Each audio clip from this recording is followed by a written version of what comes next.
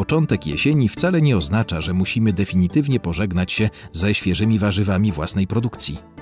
Póki na dworze mamy dobowe temperatury powyżej zera, możemy cieszyć się warzywami o krótkim okresie wegetacji i małych wymaganiach termicznych, jak rzodkiewki, rukola, roszponka czy szpinak. Do uprawy na parapecie okiennym mamy do dyspozycji całą gamę nasion warzyw na kiełki i mikrorośliny, jak słonecznik, buraki, mizuna i wiele, wiele innych. Warzywa kapustne jak brukselka i jarmuż mogą zostać w ogrodzie, a my będziemy mogli na bieżąco zbierać jesienią i zimą ich liście i małe kapustki. Sezon dostępności świeżych warzyw, szczególnie tych liściowych i o krótkim okresie wzrostu możemy sobie przedłużyć nawet do początku mrozu. W tym celu możemy wykorzystać e, miejsca, które się zwolniły na naszych skrzyniach e, podniesionych do uprawy jarzyn. Jeżeli macie małą szklarenkę lub inspekcik, też możemy śmiało w nim uprawiać takie warzywa jak rzodkiewki, sałaty, rukole, roszponkę czy też szpinak. W tym roku, słuchajcie, moim odkryciem jest groch, który nie tylko jest e, smakowity ze względu na swoje bogate w białko nasiona, ale również jadalne wąsy, młode liście i kwiaty. Co musimy zrobić, żebyśmy cieszyli się w sałatkach fajnym takim właśnie grochem? Wczoraj wieczorem namoczyłem paczkę nasion grochu odmiany i łowiecki w letniej wodzie. Teraz możemy ten groch, słuchajcie, sobie spokojnie wysiać i za kilka tygodni zbierać z niego fragmenty zielone do sałatek. Możemy, słuchajcie, zbierać całą taką roślinkę, albo po prostu sobie podskubywać te fragmenty liści z wąsem czepnym. I teraz, słuchajcie, wysiewamy sobie ten groszek dosyć gęsto. Tutaj nam nie chodzi o to, żeby on nam wytworzył owoce, kwiaty i nasiona, ale oto o masę zieloną, czyli nam zależy na tym, żeby mieć tych na stosunkowo niedużej powierzchni stosunkowo dużo roślin. Zasypujemy,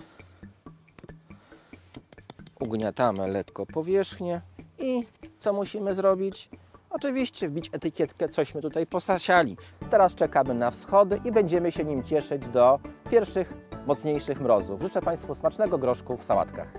Bez względu na płeć, wiek, Naszym ulubionym warzywem, goszczącym bardzo często na naszych stołach jest rzodkiewka.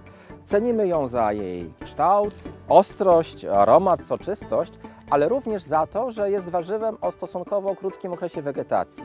Ale musimy pamiętać, że rzodkiewka reaguje na długość dnia. Jeżeli tych godzin ze światłem w ciągu dnia jest doby jest za dużo, wówczas nie tworzy nam fajnego, smacznego zgruwienia, tylko wyrasta w pęd kwiatowy i rzodkiewkę możemy siać w okresie od lutego do maja, a potem od sierpnia do października, zależnie od odmiany. Możemy je uprawiać zarówno w gruncie, z, możemy je uprawiać na, w skrzyniach podwyższonych, możemy je uprawiać, słuchajcie, nawet w dużych donicach, na balkonie czy tarasie. Sprawdzi się nam wszędzie. I teraz wybieramy sobie odmianę rzodkiewki, którą chcemy posiać. Ja tu akurat sobie wybrałem rzodkiewkę od, odmiany Duo. Ona jest odmianą zalecaną do uprawy późnoletniej, wczesnojesiennej. Mniej więcej za miesiąc czasu, no może 5 tygodni, już będzie można ją zbierać i, i zjadać. Zdejmujemy sobie taki szerszy pasek ziemi i dosyć luźno w tym pasie, na całej jego szerokości, wysiewamy ją dosyć, tą rzodkiewkę, dosyć, słuchajcie, luźno, po to, żeby ona miała dużo przestrzeni do wzrostu. U siebie w ogrodzie mam taką zasadę, że jeżeli rzodkiewki mi już skiełkują i mają wyraźnie wykształcone liścienie i zaczynają już puszczać liście właściwe, wtedy sieję następną partię nasion. Nasze rzodkiewki wysiane i możemy to najlepiej dłonią sobie fajnie to pougniatać.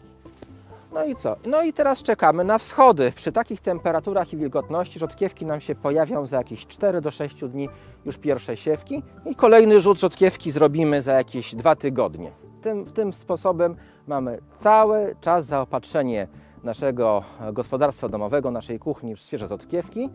Broku Purple Sprouting Early to jest moje odkrycie z tamtego sezonu wegetacyjnego. Jest dosyć ciekawą rośliną, niedocenianą u nas przez konsumentów.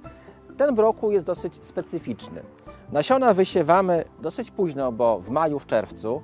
Produkujemy rozsadę tego brokuła i możemy go sadzić na miejsce stałe latem. Jest dosyć ciekawym warzywem, bowiem e, sadzony latem wytwarza części jadalne dopiero w następnym roku, mniej więcej od marca, kwietnia, maja, czerwca. W tym okresie możemy przez kilka miesięcy cieszyć się jego e, częścią jadalną.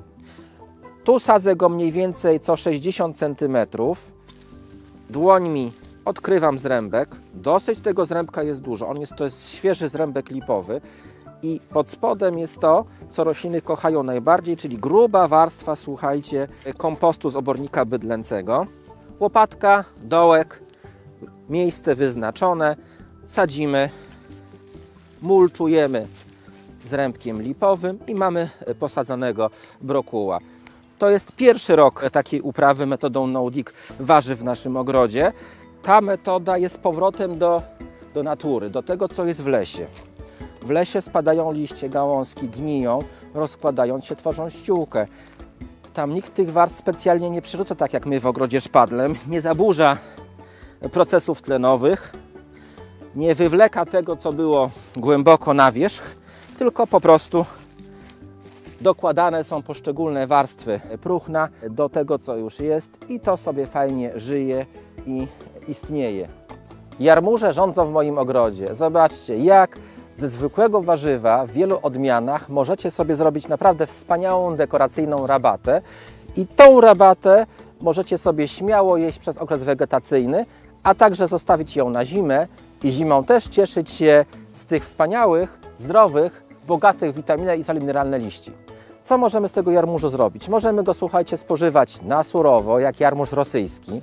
Możemy te liście, słuchajcie, pościnać, położyć na blaszę na pergaminie, polać delikatnie oliwą i wysuszyć na chipsy. Możecie również dodać je do sałatek, ale wówczas, jeżeli jecie je na surowo, trzeba je delikatnie przechłodzić, przemrozić w zamrażalniku albo poczekać na pierwsze jesienne mrozy. Jarmuże możemy jeść do przyszłego roku. To jest warzywo kapustne, które absolutnie nie boi się mrozu i tak samo jak brukselka, możemy je przechowywać bezpośrednio na polu, bez potrzeby jego zbioru. To jest krzyżówka jarmużu z brukselką.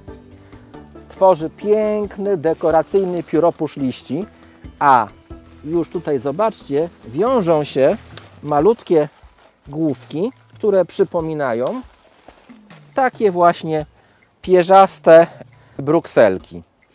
Jestem ciekawy, jak to warzywo będzie zimowało, ale podejrzewam, że dobrze, z uwagi na to, że zarówno rośliny rodzicielskie, jak brukselka i jarmuż to też dobrze zimują. Tutaj bardzo proszę, zobaczcie na etykietce, jak to cudo się nazywa. Opisowa nazwa odmiany. Także zachęcam do uprawy brukselki jako rośliny ozdobnej i jadalnej. Smacznego!